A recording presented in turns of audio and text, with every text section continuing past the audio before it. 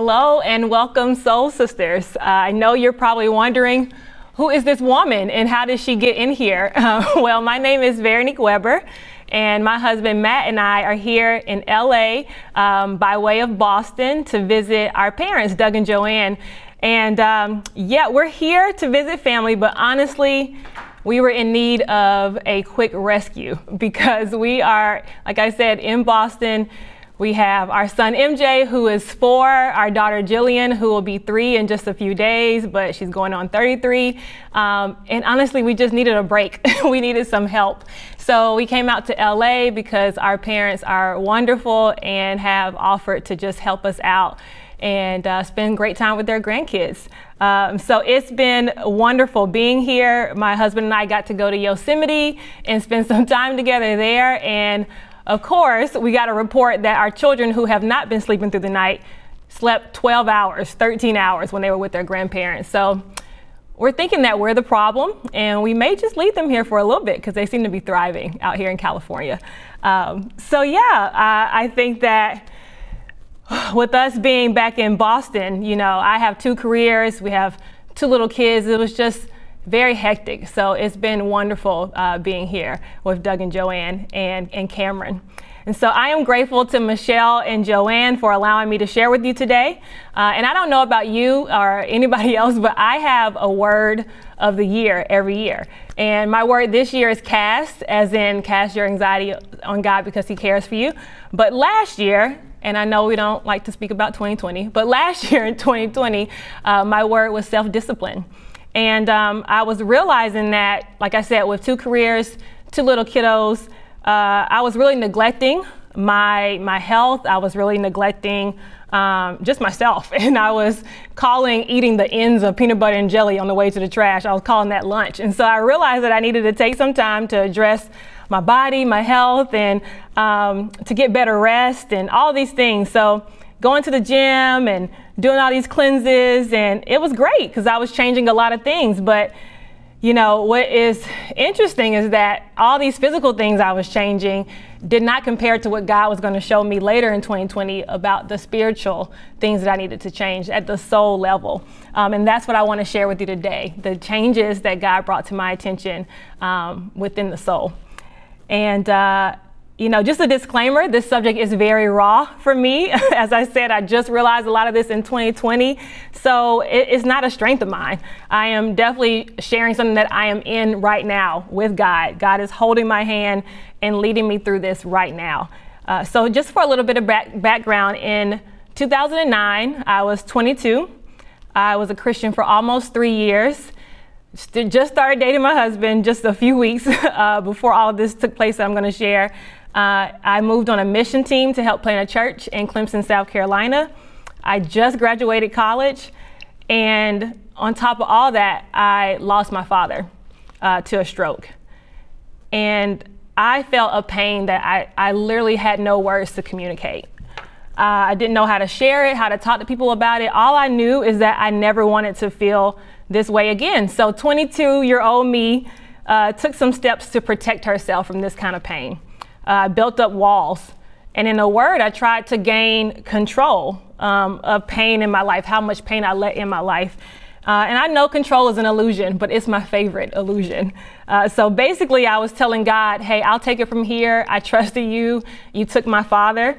Um, so I got it right now. And, um, and we can do this right. Sometimes when we're hurt, we start to question, like, does God love me? Is he really in control? Um, are his plans really good?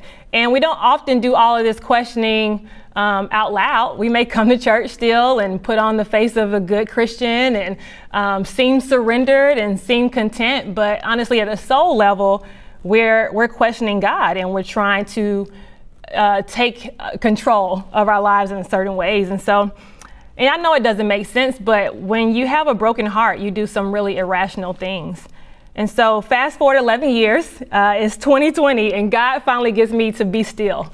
I mean, I went from mission team, getting married, moving, having kids, starting a career, grad school, all these things. And I, so I feel like for 20, in 2020, uh, just like for a lot of us, God put us in timeout. He put billions of people in timeout. And we had this time for maybe the first time in a long time to really reflect on our lives. And um, what God was really showing me is that these walls that I built up in 2009 were still there 11 years later. I had no idea, um, but they were still there. And uh, He was trying to show me that I was attempting with my human hands to protect myself in a way that only He could, only God could. Um, and so I'm over here leading churches, having babies, uh, became a speech therapist. I'm shepherding others. Um, yet I never had taken the time to address some deep hurt that I've been dealing with at a soul level. And uh, this was hard for me to admit and accept uh, and realize where I was. And so I felt like I got the wind knocked out of me. Honestly, I felt ashamed, confused. Uh, you know, I prided myself on loving others. It's one of the things that I feel like I do okay, you know, kind of well. I just love giving my heart to people. Um, and but God was trying to reveal to me that you know there were specific ways that I had shut one of my most important relationships out of my life, my husband, in order to protect myself. And I was doing this before we were even married, um, and not really even aware of it. But I allowed myself to pull away, to show less love. Uh, and what it came down to it is I was fearful of losing my husband the way that I lost my father. And uh, I still can get triggered in that when I, you know, we turn on the news and we see these tragic mass shootings. I think, you know, I could lose him while he's going to the grocery store to pick up some eggs. You know, it's it terrifies me. And um, so, you know, there's a thing about walls that in our attempt to keep out the bad, we really prevent the good from getting in as well. And, you know, my husband was loving me fully, freely. Um, but I wasn't allowing myself to reciprocate that because I just kept thinking, you know, I need to stay whole, be whole, so I can carry on, so I can be okay, so I can provide, you know, for myself and now for my kids if something happens to him. And, you know, it was just, I just kept seeing my mom and I didn't mention this earlier, but you know, within a year and a half, not only did I lose my father, but I lost um, both of my mother's parents. So you know, within a year and a half, my mom lost her husband and her mother and her father, and it was horrible to watch her go through that. And I think at that young age, I kept thinking, you know, not me. I got to be strong. Got to be strong. And we can we can do that. We can, you know, tell ourselves that we have to be something that not even God is telling us that we need to be. And you know, God really wants us to operate out of a hundred percent of love because we're created in His image, and that's what He does.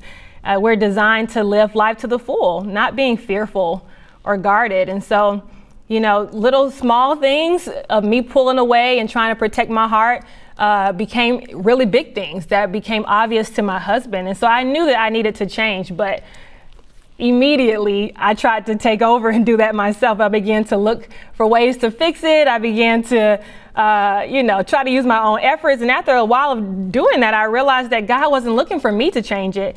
He wanted me to allow Him to change it for me. You know, He was watching me get well in all these physical areas, you know, my eating and all these things, but He knew um, that it would amount to nothing if my soul wasn't well. And so you know, I, I mentioned this to my mentor and I was asked to read Psalm 23 and boom, you know, pride just got in there. Um, because this is one of the first scriptures that I memorized when I was 12 years old at church. And so I was like, what can Psalm 23, you know, teach me? You, this is something that children just kind of recite. but, but, you know, I turned to this scripture in the Bible and you can almost hear the laughter from heaven because when I opened the Bible, I really heard the shepherd's voice. And in Psalm 23, you know, that first line, God says, The Lord is my shepherd, you know, I shall not want.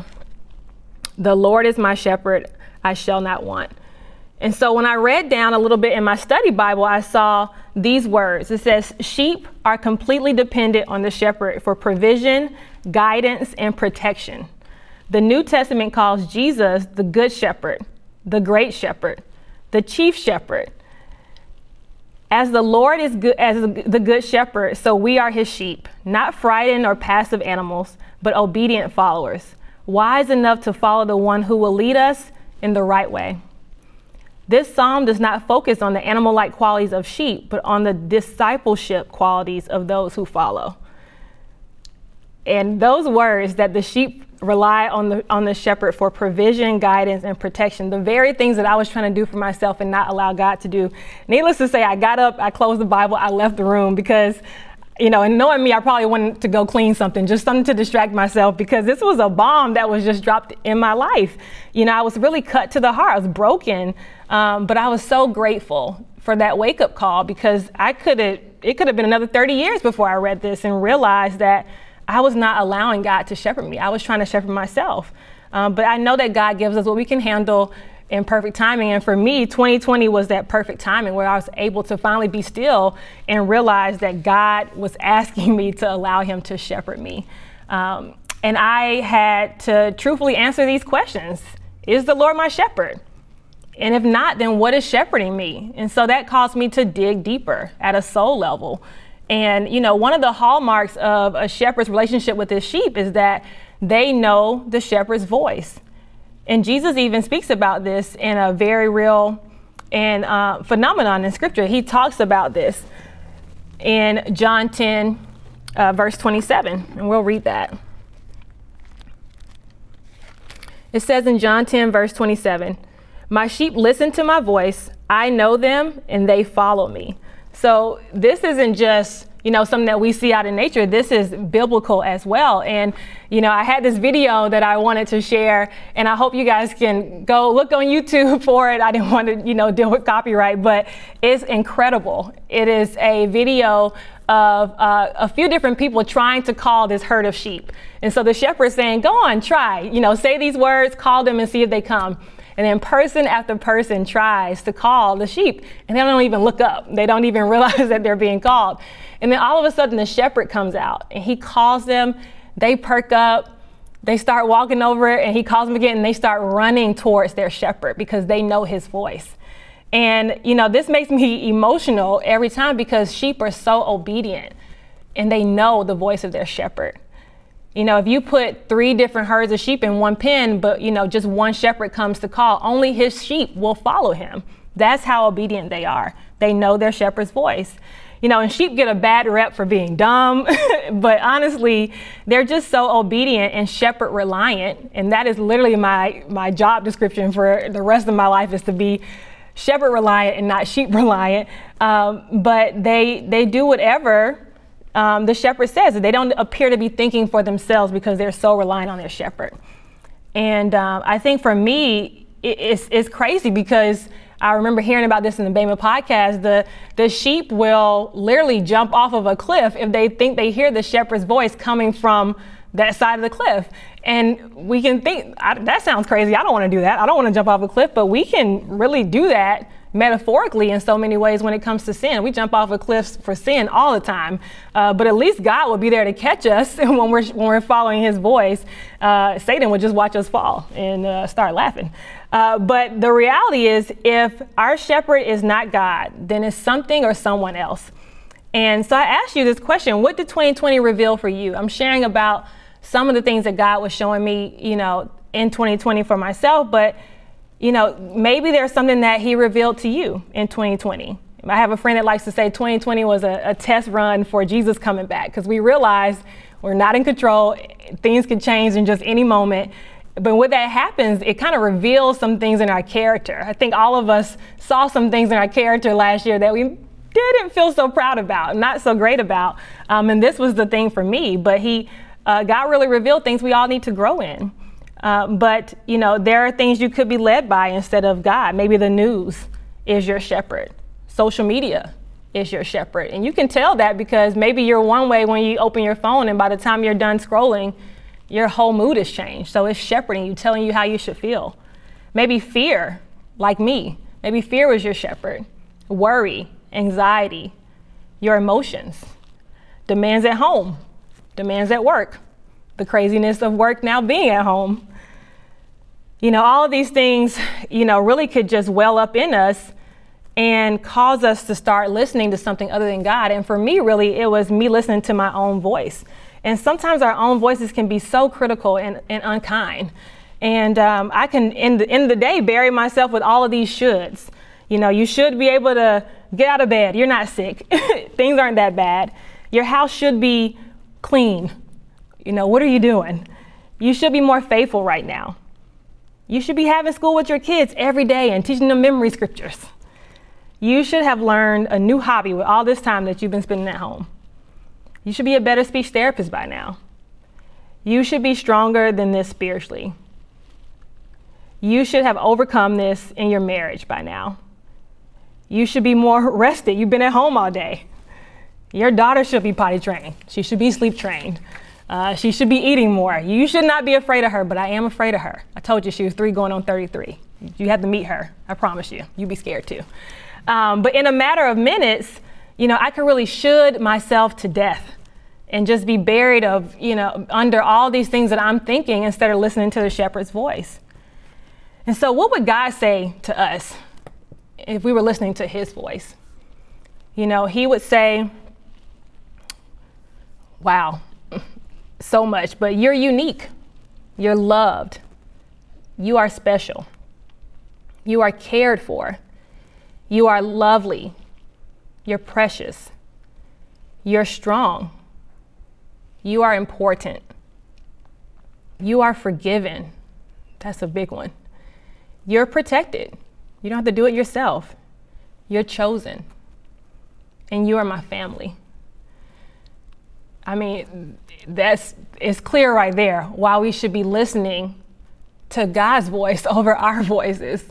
You know, we're not that kind to ourselves, but God reminds us of the truth about ourselves. And so God's voice has to be the loudest voice in our heads. You know, when you learn to listen to God's voice, you learn to love exactly who He created you to be your unique, authentic, and organic self. So, how do sheep do this? How do they learn to listen to the shepherd's voice? Well, when they're just a lamb, they just follow the flock. you know, they do what all the sheep around them are doing.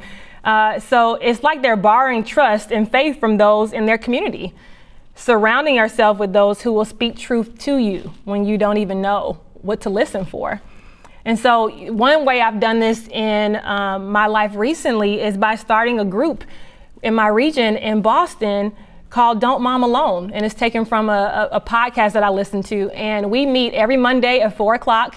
We may listen to a lesson, we may come with just a topic, whatever it may be, but we, just a group of women, we get together. And there's been visitors from California. We have three women that come from Canada. We have, I mean, it has grown tremendously, but it just started from I know I need community. I know that I don't know what I'm doing parenting in a pandemic. I need help from other women. And it's amazing because we sit around and we cry and we encourage each other and we remind each other of who God says we are. We remind each other of the shepherd's voice. And so that's one way that, you know, the sheep do it. They listen to the other sheep around them, they follow them. And I know Joanne, my, my mother in law, she mentioned this in her talk, her soul sister talk, just about the importance of friendship.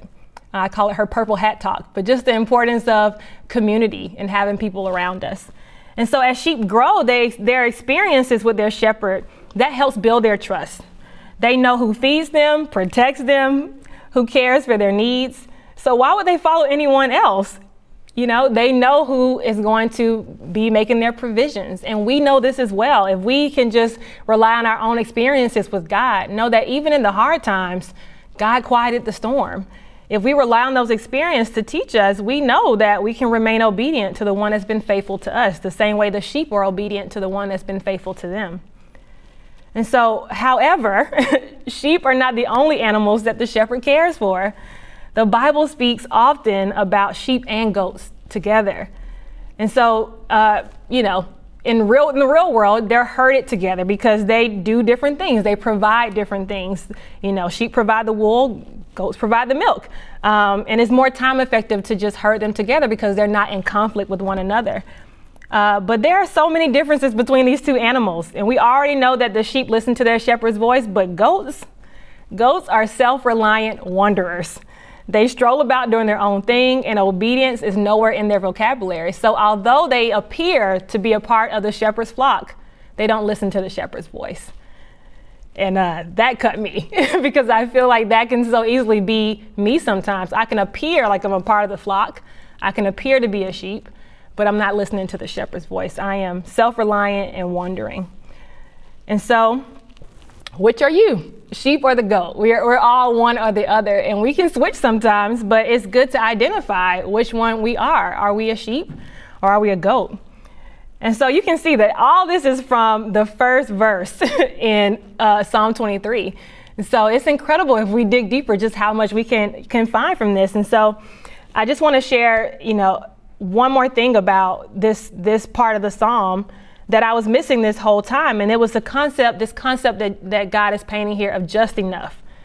You know, that He provides just enough. Uh, and in Psalm 23, verses 2 through 3, it says, He make me lie down in green pastures, and He leads me beside the quiet waters.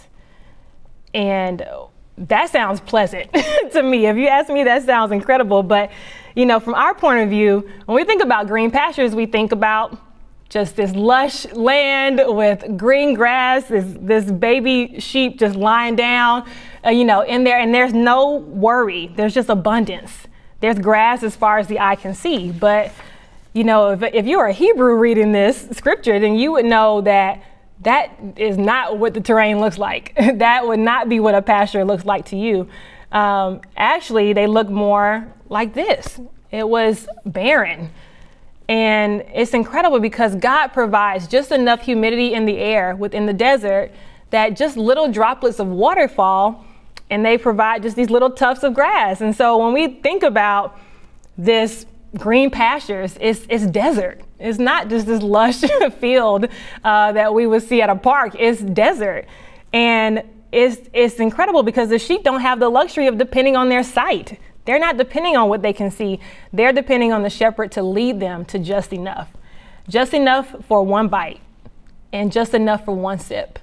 You know these still waters it's not this rushing ocean you know that we we get to think about or this lush you know uh, meadow with this water that goes through it. It's these little like pockets of water for just one sip just enough. And that's what the shepherd does. He leads them to just enough. So in the desert you know that we learn that the shepherd gives you exactly what you need for right now 10 minutes from now you trust the shepherd 10 years from now you trust the shepherd we are not in control of the pasture or the journey, but we can control our trust for the shepherd. So, a rabbi once said, Worry is dealing with tomorrow's problems on today's pasture. God hasn't provided tomorrow's pasture yet, and we're already worried about it. You're borrowing sorrow from the future, and that's what I was doing in my situation, borrowing sorrow from this future of losing my husband and you know, having to go through all the things I saw my mom go through. You know, God reveals only what we need to know right now. Any more would overwhelm us, like utterly overwhelm us. So we have to be women that live by, that, you know, don't live by sight, like the sheep don't live by sight, but instead they, they live by the shepherd's voice. We have to be hearers and not relying on what we can see. Because sometimes what we see around us is not encouraging at all, but what we hear is always encouraging. And here's even more evidence that God wants us to be women of the ear and not the eye. 2 Corinthians 5, verse 7, you know, living by faith, not by sight. Philippians 4, verses 11 through 13. And Paul describes this the secret of being content in any situation. And that secret is that he leaned on God's strength and not his own. He was not being a goat and doing his own thing, he was being a sheep. And that's how he was able to be content. You know, trusting and following God allows us to say, It's well with my soul. Not because we trust in what we see, but in whose voice we hear. We have everything we need uh, because we have Jesus. And I want to recommend this incredible book that I've been reading to really help me to dig deeper in, in the 23rd Psalm, and it's Safe in the Shepherd's Arm Arms by Max Lucado. And I want to read a little excerpt from this book because it really hits this point home about just enough. And it says, You have a God who hears you, the power of love behind you, the Holy Spirit within you, and all of heaven ahead of you. If you have the shepherd, you have grace for every sin, direction for every turn, a candle for every corner, and an anchor for every storm. You have everything you need. We have just enough because we have Jesus. So, in conclusion, you know, the struggle to listening to the shepherd more than our own voice and trusting him regardless of what we see or don't see is ultimately illustrated in the story of Martha and Mary in Luke 10, uh, verses 38 through 42. And, you know, it's the story of Jesus coming to the home of Martha and Mary, and they're trying to get preparations for him. And, uh, and of course, they take two different directions once they see Jesus. Once Jesus is there, Mary takes to his feet. She sits at his feet to listen to him, to learn from him, to take in the moment. Martha's still in the kitchen trying to get things done. And I know Martha gets a bad rep, but we are all Martha. I would definitely be Martha in the kitchen. I know this because I do this when people come to my house. They're there, and I'm still trying to finish some last minute preparation. So instead of you know, stopping and being with people, enjoying the moment, I'm still so stuck in all the busyness. And life will always demand so much of us. Each moment provides new worries. I mean, 2020 showed us that full well. And, you know, Uh, with all this going on in the news right now, we can't even go to the grocery store, the movie theater, the spa, even church without some fear. Coronavirus, guns, etc. But it's all around us. But however, worry and self-reliance only makes it worse because it doesn't change anything and it actually distracts us from what's best, which is sitting at the feet of Jesus and allowing him to shepherd us. And you know, I was choosing to be worried about many things, just like Martha. And it distracted me from loving my husband the way that God wanted me to, and from allowing me to, uh, you know, have God shepherd me through those fears in my life. And so God wants us to rest in Him, to be led by Him, to listen to Him, and to choose what's best every day by choosing Him. And how do I know this? Because of Psalm 23. It says, He refreshes my soul. God wants our souls to be refreshed. And we can only have refreshed souls by allowing Him to shepherd us. He wants to refresh our souls, and that's amazing and is so needed. He doesn't want us to be run down, lost, playing out of our position, exhausted. He wants you to lay down the burdens you were never meant to carry and to cast them on our shepherd because he wants us refreshed. I was never meant to pick up those burdens at 23. I'm not meant to pick them up today either. You know, God wants to carry that hurt, that fear for us. And so, what areas of your life do you need God to restore or to refresh? Is it your faith? Is it stale? Do you need to brush off the cobwebs, cobwebs of evangelism? Uh, I'm reading this book right now, Emotionally Healthy Spirituality by Peter Scazzero. And he says, You're not a 22 year old Christian, you're a one year old Christian 22 times. And that could be us sometimes when we lack repentance, we lack maturity, we don't grow because we're trying to do things our, ourselves instead of putting it in God's hands. And so sometimes we need restored hope, restored vision, restored direction, restored energy, a restored soul. God is restoring my soul right now. He's helping me to break down these walls right now, and He can do it for you too. He wants this for you right now. Not after COVID is cured or after your house is clean or after you run these last three errands or the homework is done or you get your life together, whatever that means. Uh, after the kids go to, to school, after you finish this last deadline, not after all of these things. He wants it for you right now. But first, we have to identify who our shepherd is. We have to rejoice in our role as his sheep by being obedient to his word. And if you think you're a goat right now, it's okay to switch teams. It's not too late. You can do it right now. But we, he wants us to be convinced that just enough is more than enough. And we need to trust our ears more than our, eye, our eyes so we can be well with our soul. So I want to encourage you.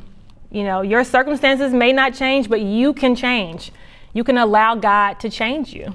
So take time, please, to read and to sit with and to meditate on Psalm 23 in its entirety. We only went over a few verses, but think about how much we got from just those three verses. There's so much more there. Take a verse a week, memorize it, read different translations, but ask God to help you live it. And even consider buying these books. I mentioned the Max Lucado book. There's so many other books about Psalm 23 that help you deepen your understanding, but ultimately we want to ask God to show us where are we not allowing him to shepherd us in our lives? And as I said in the beginning, I am currently on this journey. I am still figuring it out. And I was really reluctant to even share it because I usually like to, you know, read all the books, have all the insight, have all the wisdom, have it all together. But God told me, share it is just enough. What you have now is just enough, and He'll take it the rest of the way. And I'm excited for the future because, you know, God has already given me a beautiful marriage.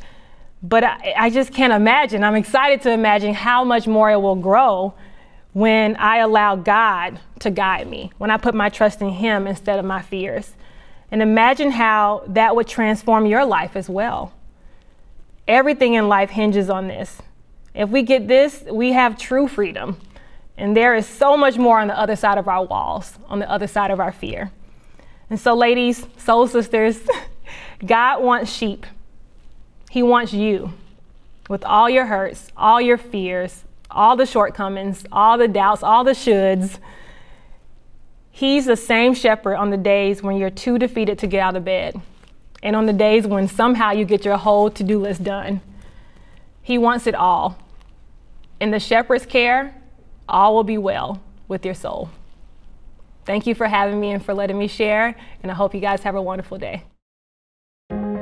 Thank you for joining us. I hope this has been educational and inspiring for you. If you'd like to know more, please join us by going to study.laicc.net and we'll be happy to contact you and help you in any way we can.